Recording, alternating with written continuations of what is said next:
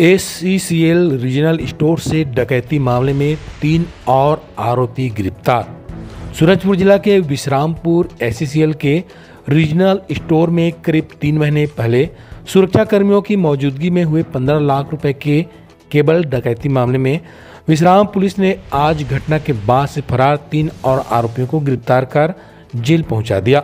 Vishrampur police ने बताया कि एसीसीएल विश्रामपुर क्षेत्र के रीजनल स्टोर में पिछले दिनों 11 अगस्त की मध्य रात्रि आरोपियों ने सुरक्षा कर्मियों की मौजूदगी में करीब 14 लाख रुपए के बेसकीमती केबल की डकैती की थी, जिसकी कीमत 14 लाख रुपए से अधिक रही।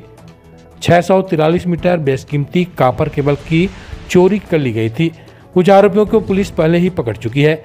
घटना के बाद से फरार चल रहे तौफीक अंसारी पिता स्वर्गीय हनीब अंसारी उम्र 21 साल, निवासी तालाबपारा शिवनंदनपुर थाना विश्रामपुर। शशिकांत यादव, पिता पारासराम यादव, उम्र 35 साल, माइंस कॉलोनी, क्वार्टर नंबर बावन, विश्रामपुर। तथा गौतम प्रसाद यादव, पिता रामदुलार यादव, उम्र अड़तीस साल, Chopra Kanoli school line quarter number आठ सौ चौवन, विश्रामपुर को पकड़ लिया है। जिन्हें पुलिस ने न्यायालय में पेश किया और जेल भेज दिया। विश्राम पुलिस ने बताया कि मामले में अब तक सत्रह लोगों के अलावा एक नाबालिग को भी गिरफ़्तार किया गया है।